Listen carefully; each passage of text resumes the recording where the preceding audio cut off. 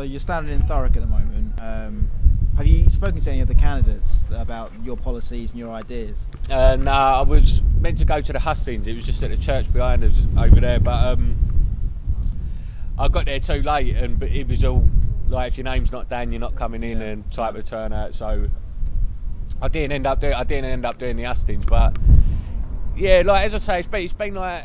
Oh no! Tell a lie. I see Polly. I see. Um, I think she's from the Labour Party. Yeah, she is. Yeah. Yeah, What- she's- what's your opinion of Polly then? She, she, she, she seemed really all right. Like we didn't talk much. I was more talking to um, the people she was with, but she seemed all right. Like I was looking forward to talking to her because she seemed friendly and that. You know what I mean? Whereas you got the fella from UKIP, all he's saying is, um, "Oh yeah, I'm local, I'm local, I'm local." Well, all right, sweet. Like Do you think that's an issue? I mean, would you vote for someone who's local? no, like what, what, what what difference does it make? You know what I mean? What are you going to do? What are you bringing to the table? You know what I mean?